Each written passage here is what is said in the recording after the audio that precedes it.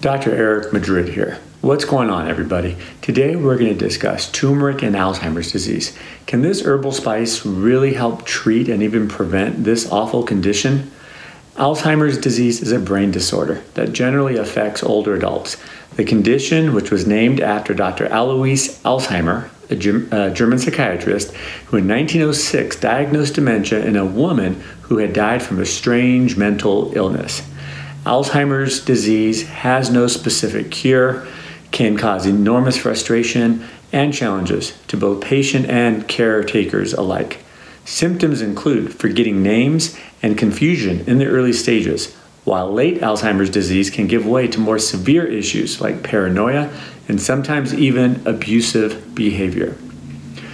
Fewer than 1% of Alzheimer's disease cases occur prior to the age of 65, but scientists predict after age 65, one in nine people are at risk. Alzheimer's disease is believed to be caused by a deposition of a protein in the brain called amyloid beta. The amyloid beta protein creates a type of scar tissue in the brain, which results in memory loss and other symptoms of Alzheimer's. Preventing the deposition of amyloid beta may itself be the answer to both preventing and possibly reversing this debilitating disease. So let's discuss the symptoms of Alzheimer's um, that a person may have, and these include trouble with words and speech, this is known as aphasia. A person may have difficulty making executive decisions and may have trouble simply paying a bill. Doctors call this agnosia. One may also notice memory loss. It appears that new memory is primarily affected while long term memory remains intact. The loss of memory is also known as amnesia. Also, a person may have trouble remembering the names of things. Doctors call this anomia, also known as anomia. Last, a person may be observed misusing objects. For example, they may try to write with a fork or perhaps even eat with a pen. This is known as apraxia. Let's also discuss risk factors for Alzheimer's disease. The good news is, if you have many of these risk factors, you can actually make some lifestyle changes which will help prevent and even reduce your risk of ever developing Alzheimer's disease. These risk factors include tobacco use. It's never too late to stop smoking cigarettes. Some quit cold turkey, while others use nicotine gum, patches, and sometimes even prescription medications. So consult with your doctor and find out what's best for you.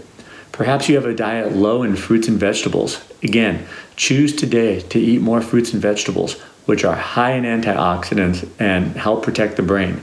As the saying goes, an ounce of prevention is worth a pound of cure. Another risk factor is high blood pressure. For many, weight loss can help reduce blood pressure.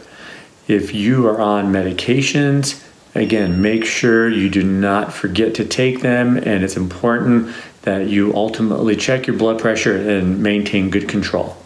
Physical inactivity, that is not exercise, is also a risk factor. Get up and start moving. At minimum, commit to walking at least 30 minutes, three to four times per week.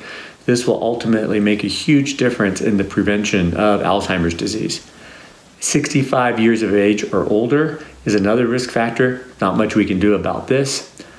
Um, however, diabetes being a risk factor, there is something we can do. So, reducing one's sugar and carbohydrate intake is crucial to uh, possibly reversing and even controlling uh, diabetes. I've had many patients reduce their medications, sometimes get off them altogether simply by incorporating a low carbohydrate diet, such as the paleo or uh, ketogenic diet. A history of traumatic brain injury or TBI is also a risk factor. Some studies have suggested that omega 3 fish oil can be helpful for those who have traumatic brain injury. Lastly, family history uh, is a risk factor. 25% of the cases of Alzheimer's disease appear to be genetic, in that one has the gene for the ApoE4 um, protein or gene.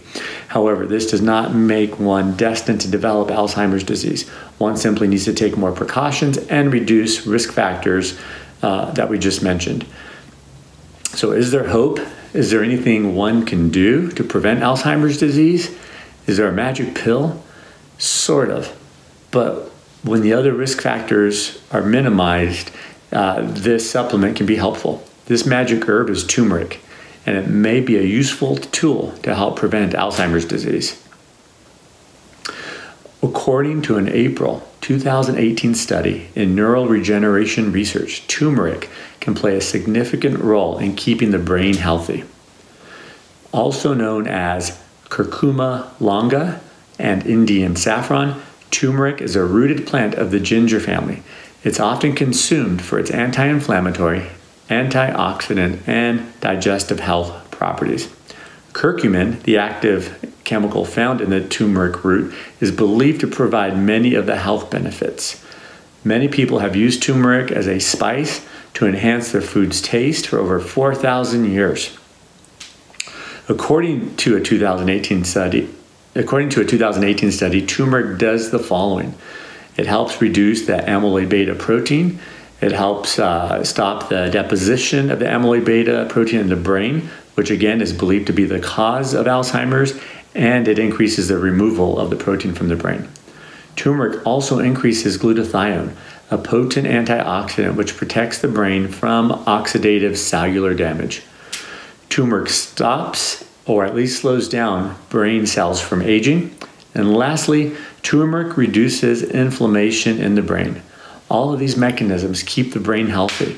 The authors of the study go on to mention that turmeric's anti inflammatory properties play a crucial role in helping to protect the brain against various uh, assaults which cause Alzheimer's disease.